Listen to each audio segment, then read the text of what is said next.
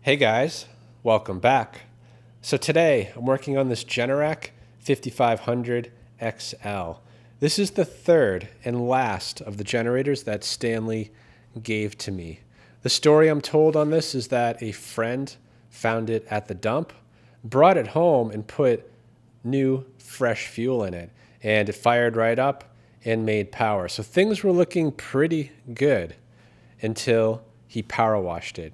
At that point, it stopped working and it hasn't worked since. Now, this is where the story gets a little bit unclear. I'm not sure what stopped working. Was it the engine, the power head?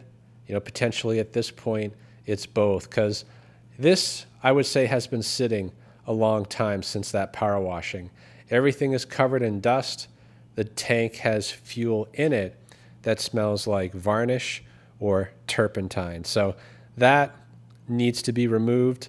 Uh, the engine, it's not stuck. It actually turns over quite freely and it has compression.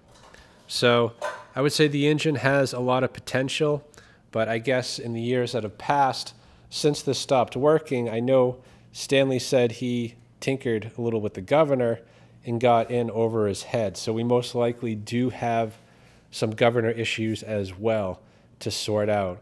Now, despite all the dirt on this machine, it's actually pretty clean. You know, the exception is the chrome.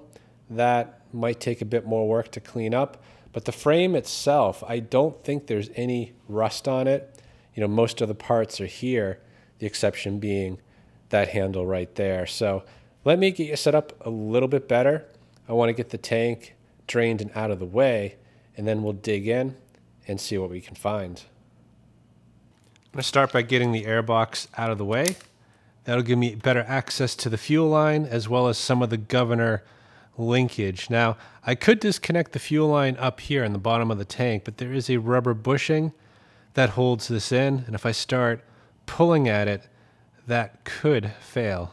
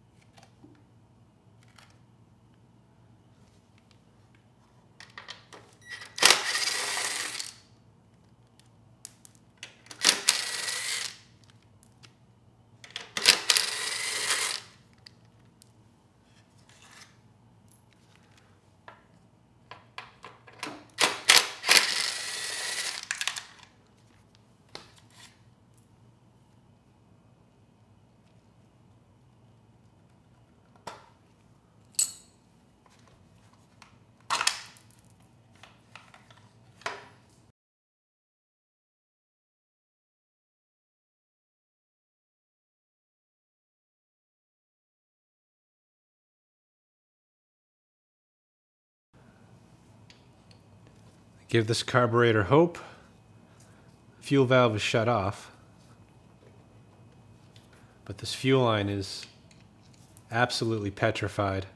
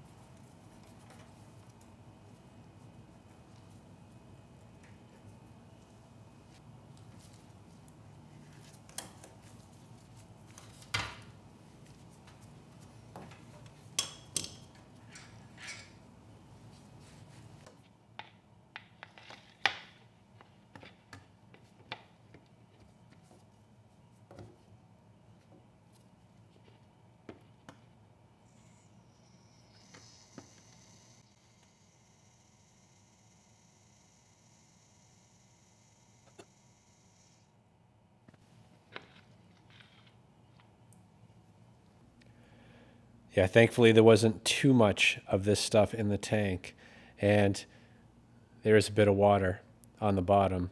So yeah, that that tank I'm sure needs to be cleaned out and mopped up. But let's focus in on the engine and the power head. And if we can get that to come back, we'll get that tank cleaned up.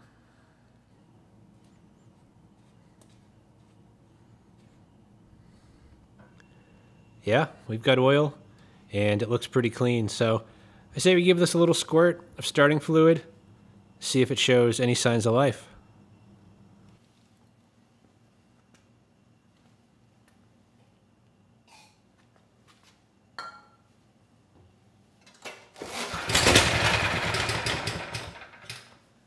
Nice.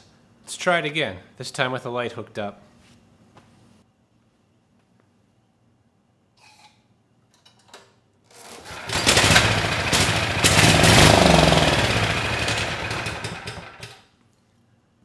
I did not expect that, but the engine, it sounds really good, and the generator head is making power. So that's good, but it's also bad because this, it was thrown away for some reason, right? And I haven't discovered what that is yet. So let's get back to the original plan, get the tank out of the way, and then I want to take a look at that carburetor, see if it's viable. And if it is, I'll get it installed and We'll try running this a bit longer to see if we can't figure out what the issue is.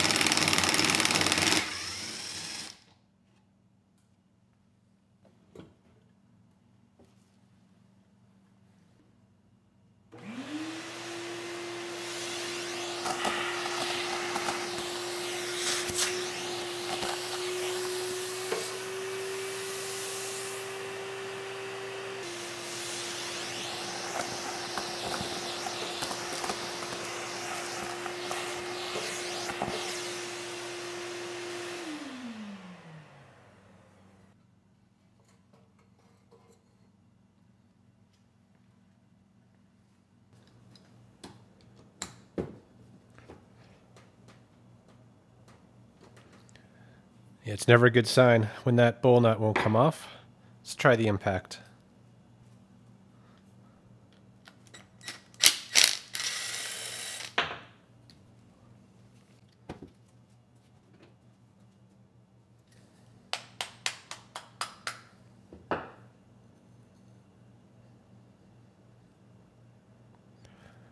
It's not too bad actually. There is some dust, debris on the bottom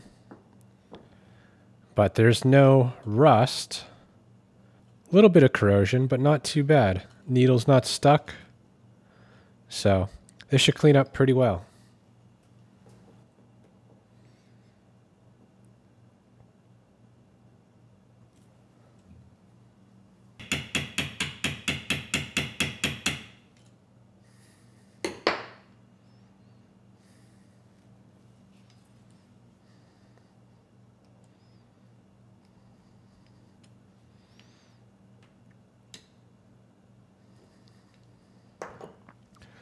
Really stuck in there. Let's get the petrified line out of the way.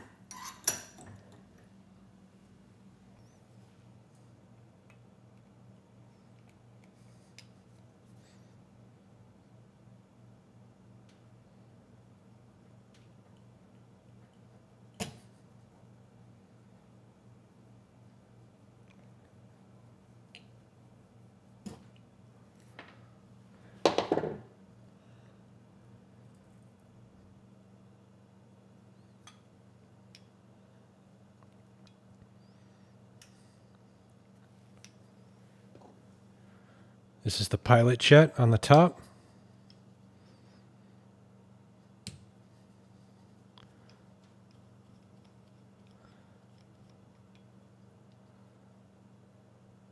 I think.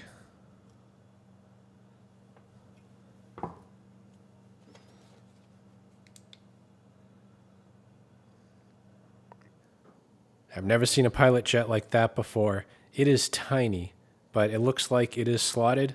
So let me try to get it out.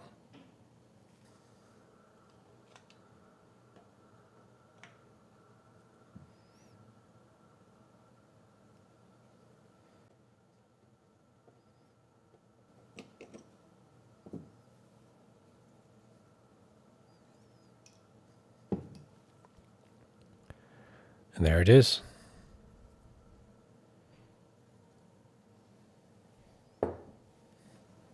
Try to get the main jet out.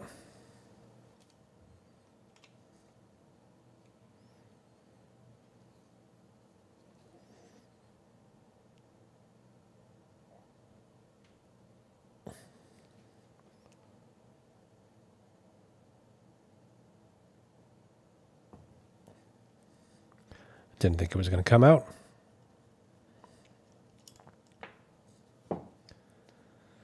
And let me see, there is an emulsion tube down the center. Uh, there is no slot though. So that one, it's probably not going to come out. Yeah, the main jet's not plugged, but there is a bunch of plaque on the sides. And as far as this little pilot jet goes, yeah, it's also letting light through. So this carburetor may have run as is. Not sure how well. Anyway, I'm just going to go through each of these jets, kind of scrape off the plaque and run through all these holes, just make sure there's nothing clogged. And then I'll clean it up in the ultrasonic.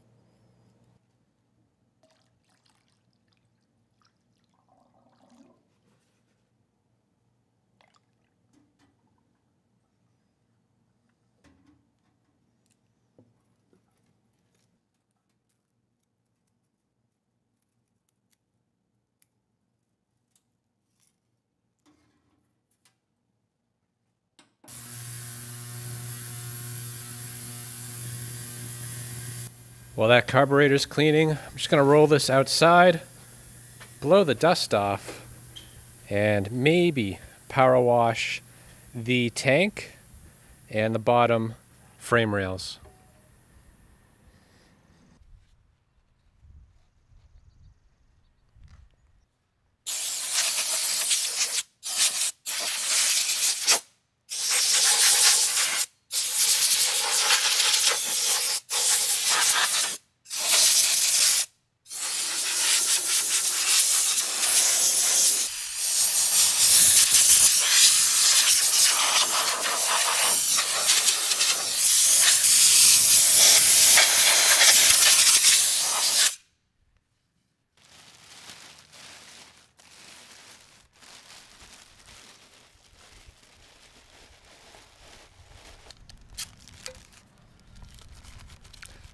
Want to try to keep the water out of the stator and this control panel.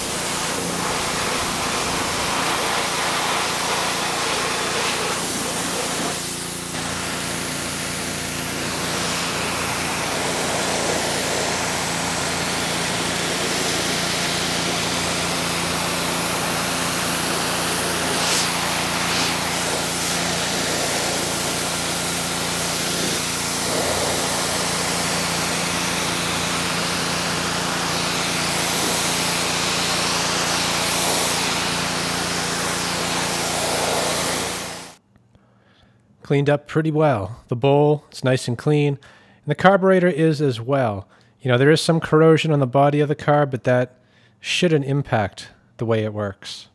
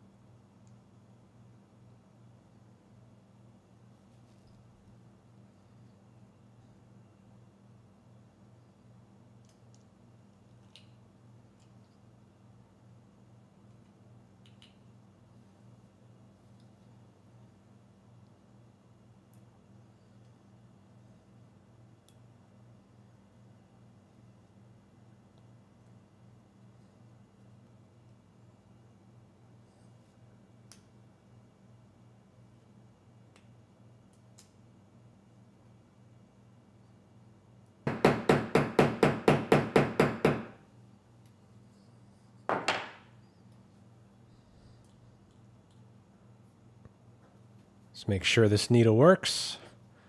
Upside down, it should be closed, and you should hear nothing. If you hear any air escaping, it's going to leak.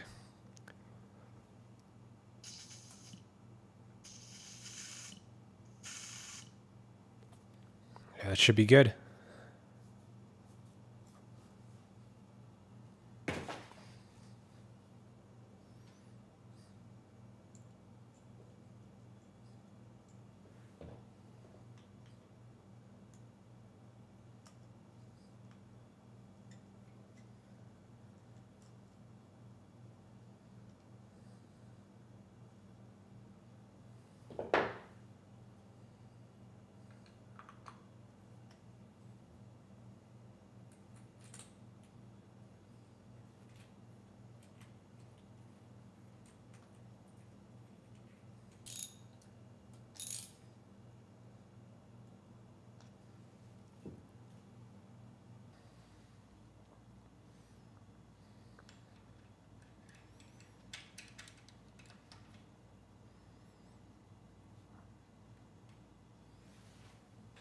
Stanley warned me that he tinkered with something down here, but I don't know exactly what that was.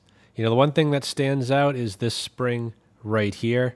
It is not the spring that would have come on this engine, and it's connected by a piece of wire on either side. But, you know, that said, it's not critical that we have the right spring right here. This one here is the critical one, and that looks to be correct. The whole purpose of this spring is to just take the slop out of the governor rod. You know, if I just wiggle it right here, you can see there is play. And it would be like that on both sides. And without that spring, that is enough to cause surging and oscillating in an otherwise clean carburetor. So this homemade spring should work fine. You know, if the engine runs well, I might have something a little better, but we'll leave that alone for now.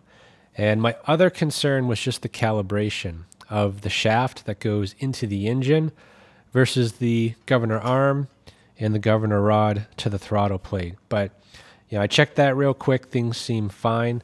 You know, to double check that, just hold the carburetor against the insulator.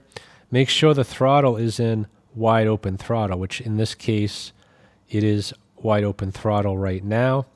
And this rod right here is being held wide open throttle by that spring. So when both the governor arm and the throttle plate are in wide open throttle, they should line up right where that bend is versus the hole that's right there.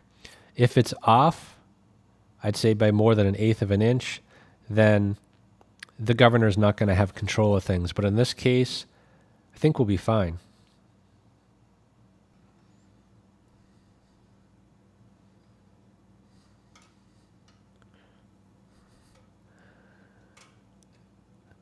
It's not the best design having this here. It really limits how well you can maneuver here.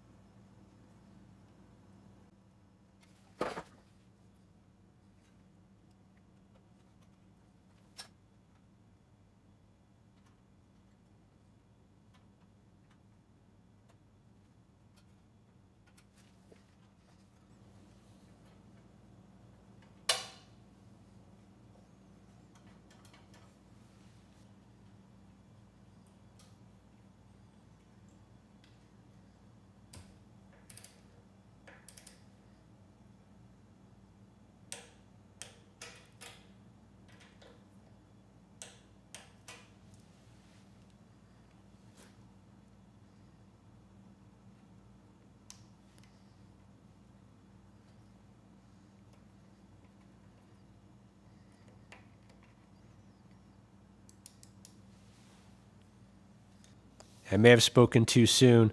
This custom spring, although it should work, it's not going to work the way that it's connected. If I move the governor arm, you can still see there is some slop there. And that's not because of the custom spring. It's actually because of where this wire is connected.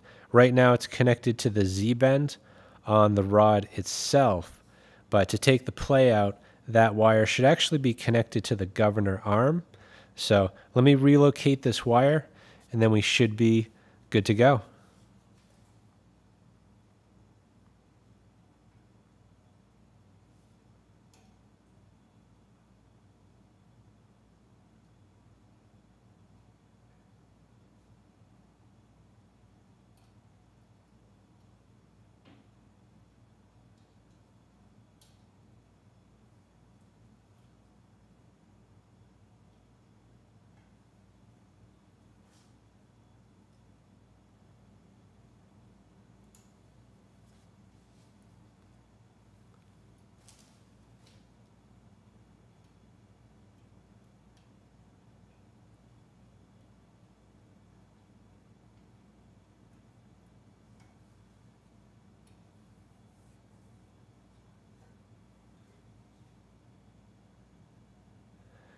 There we go. Pretty much ready to go here. I've got the fuel connected and the space heaters on standby. What I'm mostly curious about, I guess there's a few things. First, how is that carburetor going to run the engine? Is the governor going to have control? And what is the power output going to do? Is it going to be stable at 120 volts or are we going to see something odd? So let's get it started and see how it does.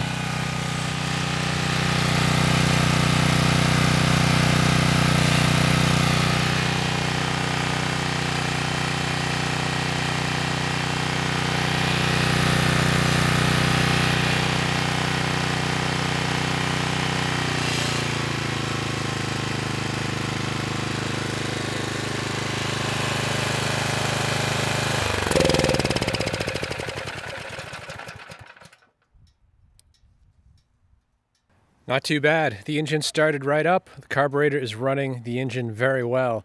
And the governor had control, maybe a little bit too much control. We started at 120 volts, 60 hertz, loaded it to 3000 watts, and the engine speed dropped quite a bit to 54 hertz, and the voltage did as well.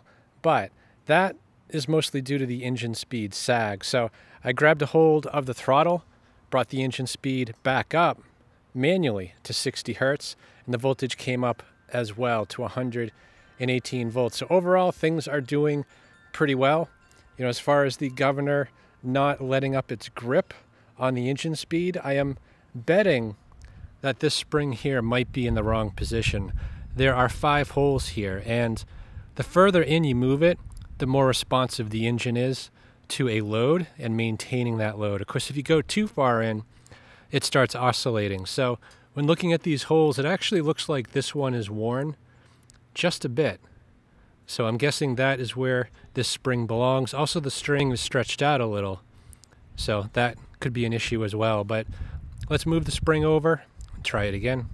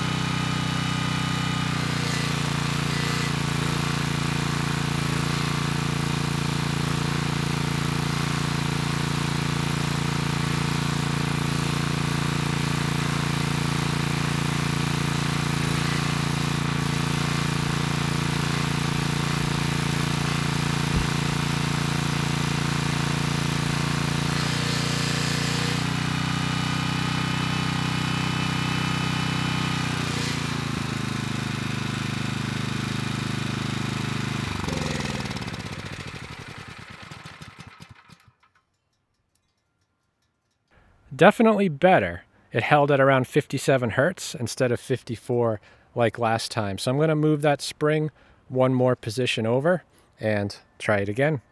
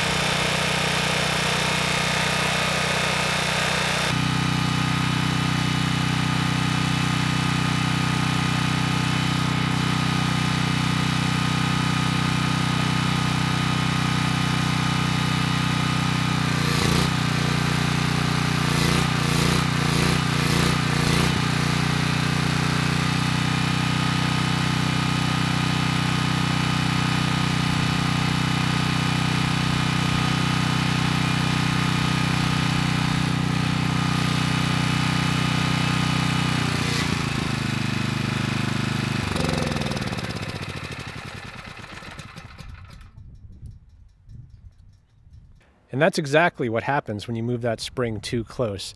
The engine was surging, and that is just caused by an oscillation between that governor spring and the governor itself. So it does need to be moved back to that middle position, which is a little bit less than ideal. I mean, 57 hertz isn't great under a 3000 watt load, considering this is rated at 5500 watts. So I think ideally I would replace that spring. It is a bit stretched out, but I'm not sure if that part is available. So I'm gonna pause it here, take a look online and see if I can replace that spring. This spring, it is still available. I found it on Amazon as well as this anti-lash spring. So both of those have been ordered. They'll be here in about a week. So while I'm waiting for those parts, there are a few things I want to take care of. You know, first off, the oil. You know, the engine's still hot, so I get that changed now. I also need to come up with something for the missing handle. That is a discontinued part. And I want to tackle the chrome on the exhaust system and the valve cover. See if I can't clean that up a bit.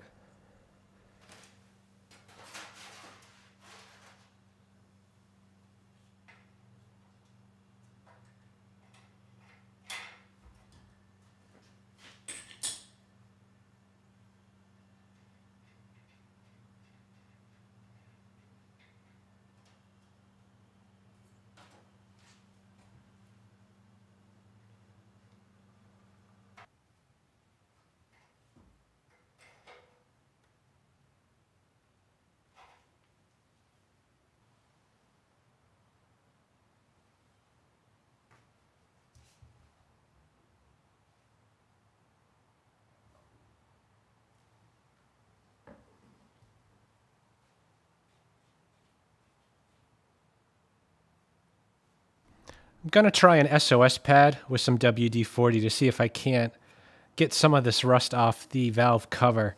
The exhaust, I'll try the same, but that might be too far gone.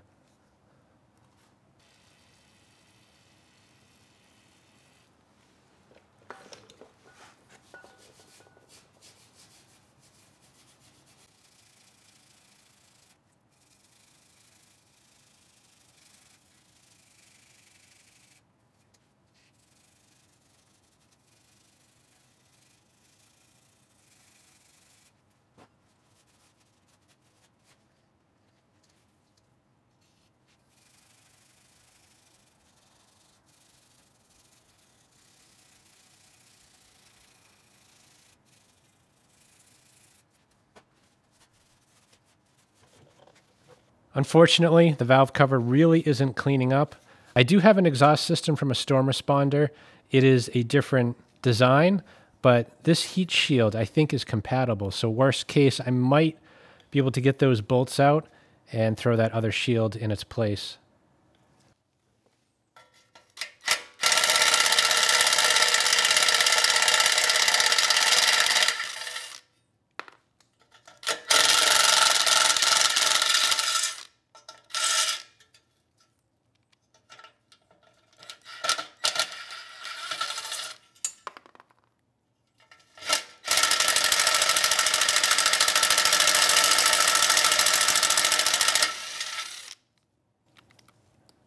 Broke.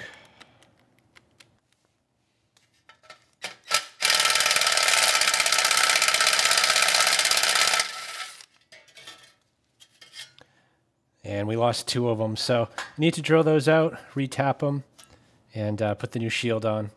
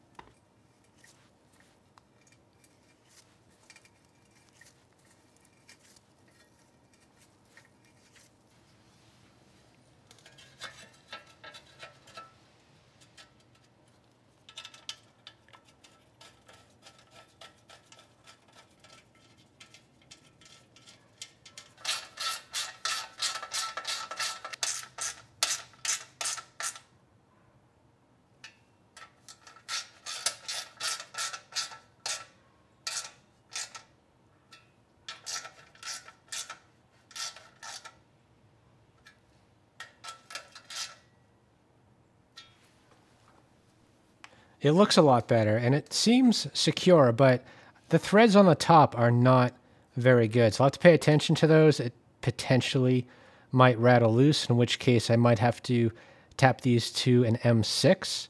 Uh, but the bottom two are nice and snug, and these are fairly good. I just don't know how they're going to hold up to the vibration of the engine.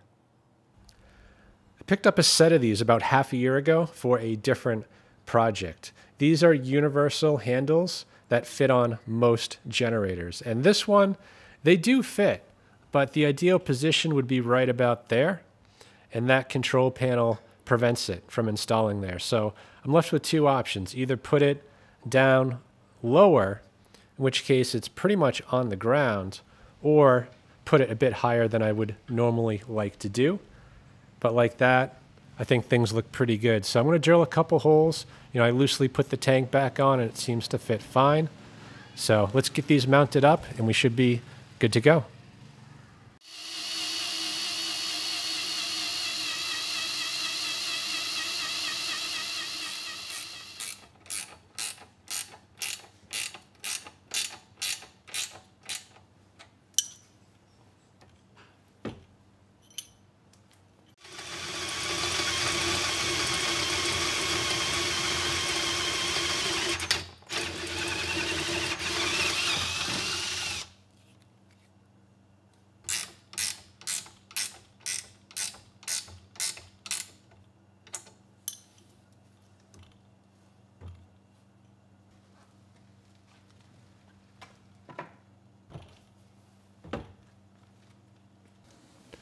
Been about a week and the springs showed up today. So I'll leave the part numbers down in the description in case you need the same. So let's get these installed. Probably put the airbox back on and give this another try.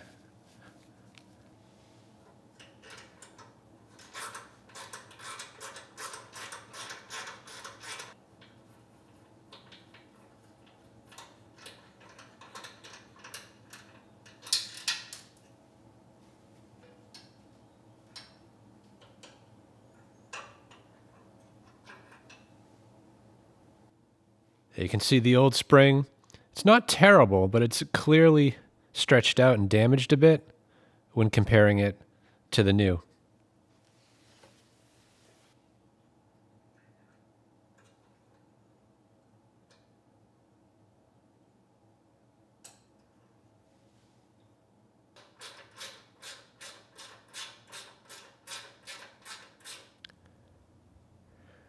That's a big difference. A lot of spring tension, and I've barely torqued that nut down.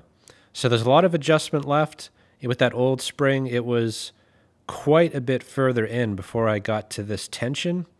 So we'll leave it like this. Once it's running, we'll dial that in.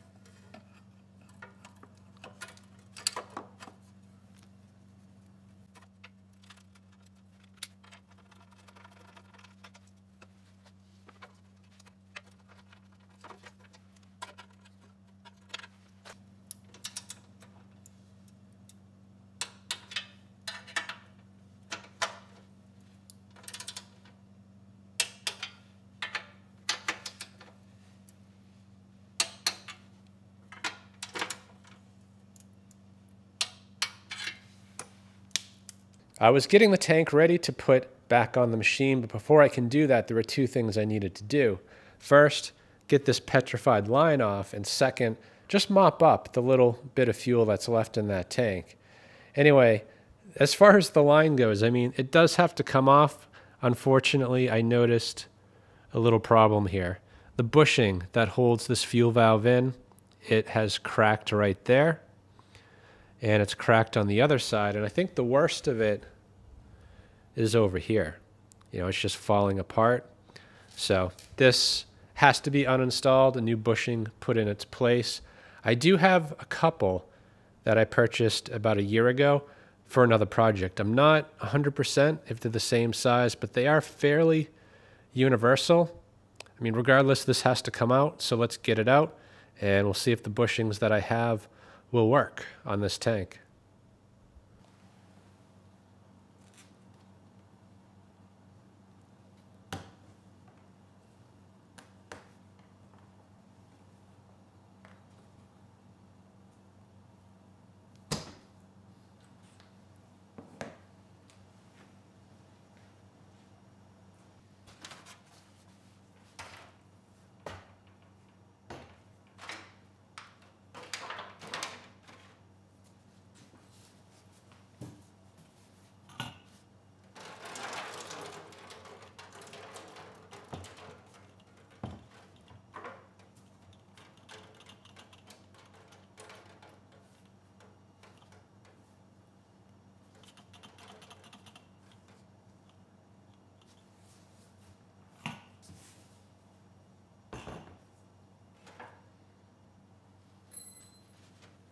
Yeah, it's pretty nasty. I'd say it's about 80% water.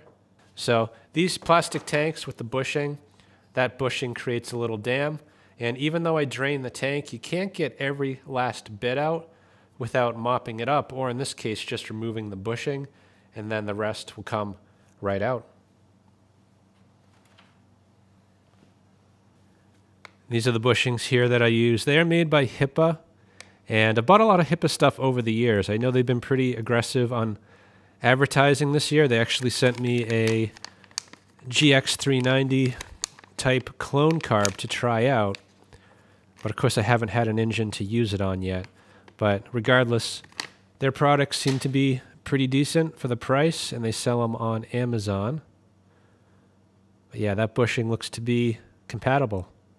So we'll get some oil on it and get this installed.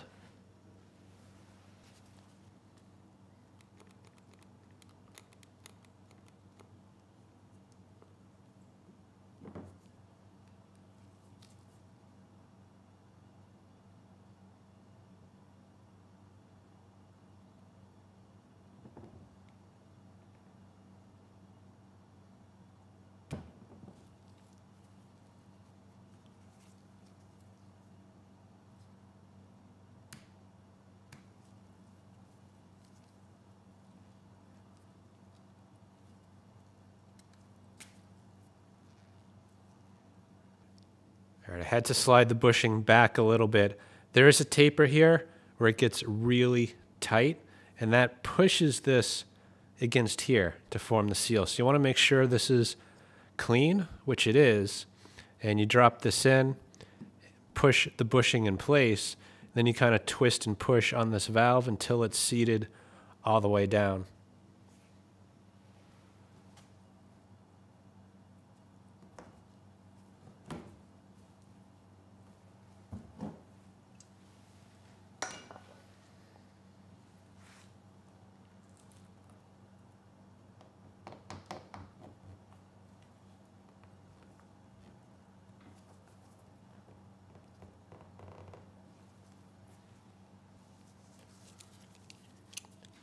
And ideally, the bushing shouldn't be spinning, only the valve.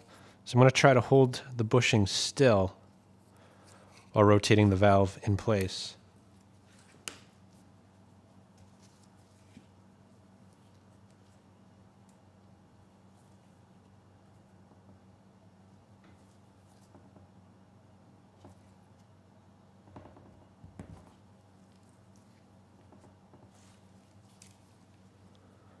Almost.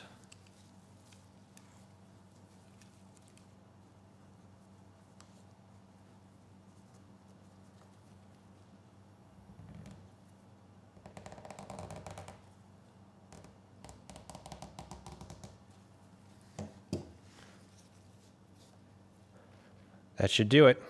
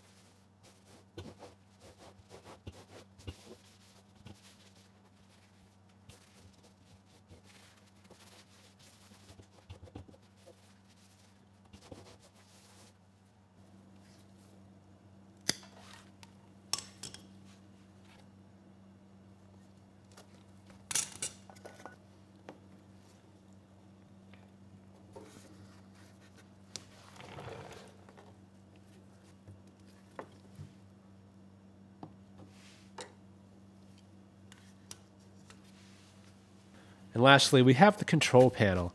There's nothing wrong with it. I mean, there's no rust. Uh, everything works, but the paint, it is very chalky. And that's a common problem with these XL series generators, especially when they're left outside. So a week ago, I did put a light coat of WD-40 on the left here. And you can see it's kind of evened out the colors into something that's a little bit more consistent. So I'm going to apply another coat of WD-40 to both sides and just freshen it up a bit.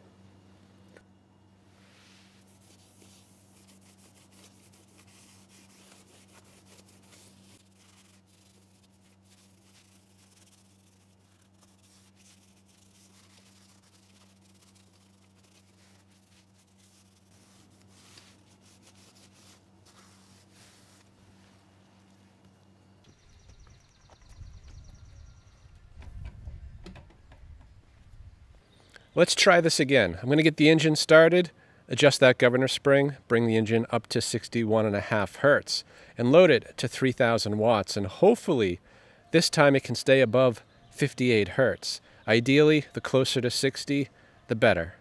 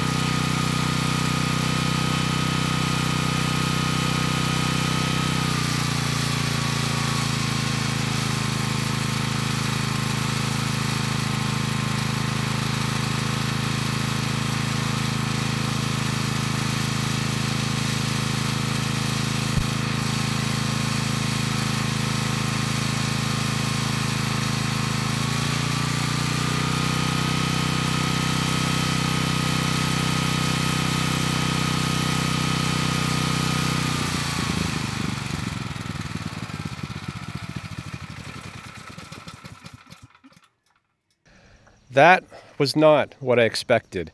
The response from the engine was not good. When I started it, it was running fast, and this adjustment nut is backed almost all the way out. And I had to back it out even more to get the engine to slow down to about 61 and a half hertz. But once I applied that 3000 watts, the engine speed dropped to 53 hertz. So something still isn't right here. Maybe we have an issue inside the engine I'm not sure. So I'm going to start it again and I'm going to manually just throttle it down. And when I let go, if things are working, we should see the throttle open wide.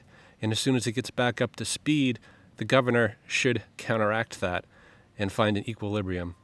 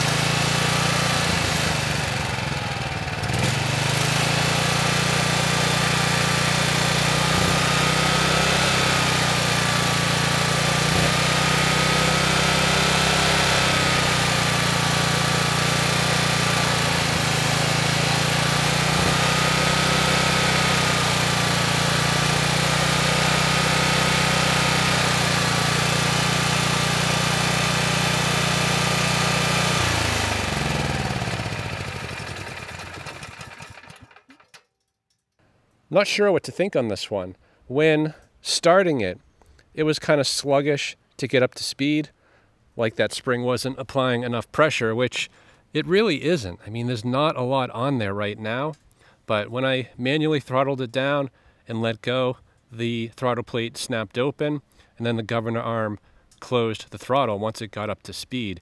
And I even manually sped the engine up just to see if I could feel the force of the governor trying to close that throttle plate, and I felt it. So I'm gonna have to give this one some thought. You know, everything seems to be working, but we're not getting what we expect. All right, let's give this one more try. I did move the spring out a hole, so it's on the second to last one, and that's where it was when I got this generator. So get it started, we'll reset the speed again, and see if there's a different result.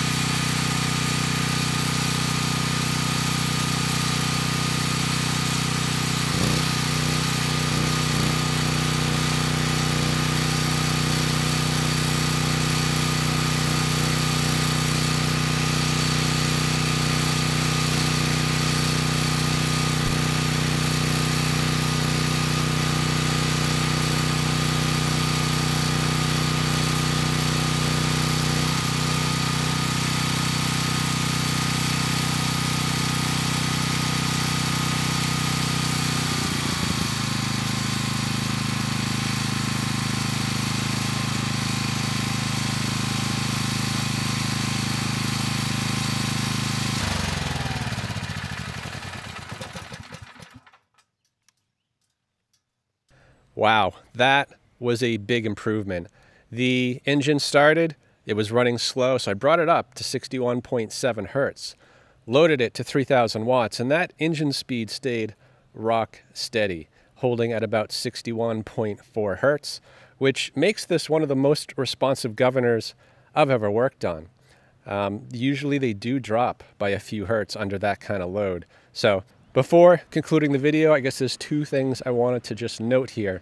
I did speak with Stanley, and he confirmed actually he did loosen the bolt that connects the governor arm to the governor shaft. And after he did that, he didn't have confidence that he did it right, and he never tried starting this engine again, which is too bad because he also mentioned that he replaced a board down here in the power head. And that is the PCB. That is the part that I was suspecting was bad. So he unknowingly fixed this correctly years ago. And really all I did was finish it up.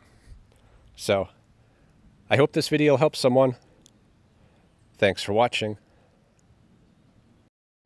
Not so fast. I thought I was done, but a couple weeks went by, I brought it back out just to make sure and was surprised when I started the engine, it was running fast at about 67 hertz.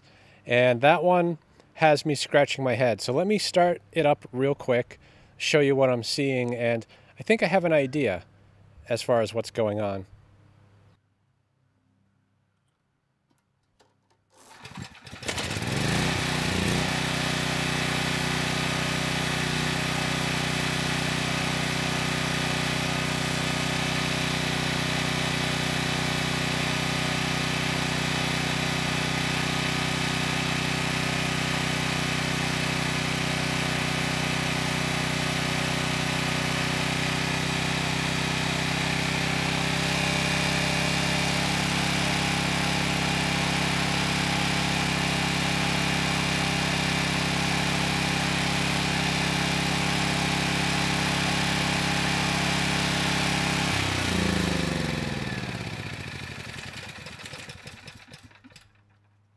So it started pretty normally, about 62 hertz, and I wasn't sure it was going to do it, but it did. The engine speed started to pick up and kind of topped out at about 67 hertz. Now, one thing I didn't show you is that if I go down here and manually operate the throttle linkage here on the governor, and I increase the engine speed even beyond 67, I feel the governor working against me to slow the engine down. But once I let go, it stabilizes at about 67 hertz, and I don't feel much force from the governor. So I'm leaning towards either internal damage or maybe this is out of adjustment. I didn't check this bolt here. Potentially it was adjusted right and things kind of shifted a bit. I'm not sure, but I think the next course of action here is to loosen that bolt, reset the governor, and try this again. And to do this, you want to get your bearings. This spring is pulling it open throttle when the engine's off. So this arm rotates clockwise. So when I loosen this bolt, I want to turn the shaft clockwise as well until it stops and just tighten it back up.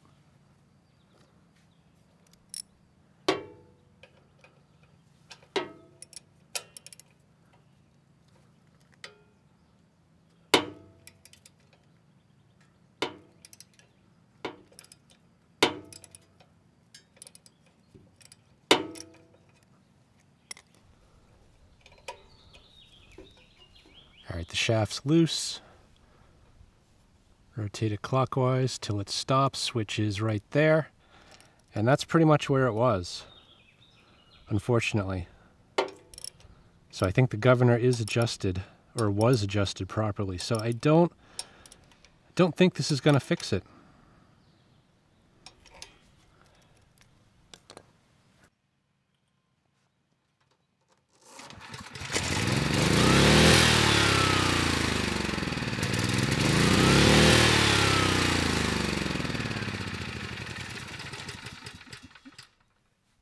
Well, things have gone from bad to worse, but I think I know why. When I move the governor arm, it's not moving freely. When the engine's off, it's wide open throttle.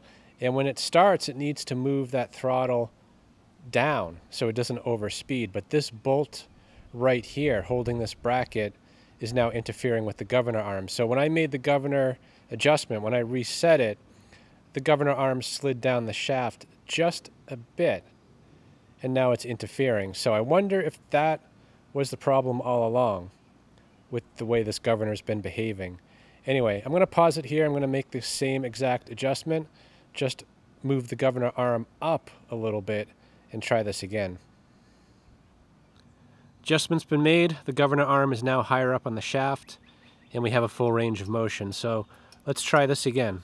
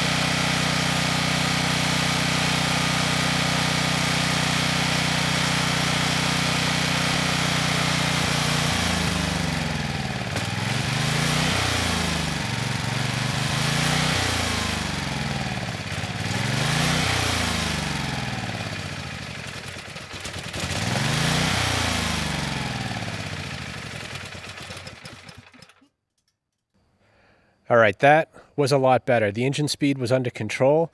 It was right at about 62 hertz.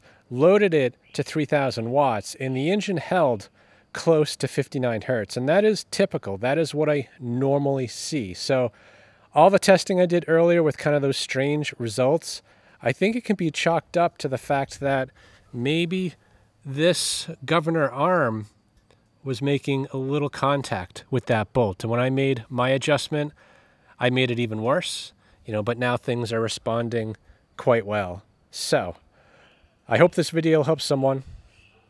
Thanks for watching.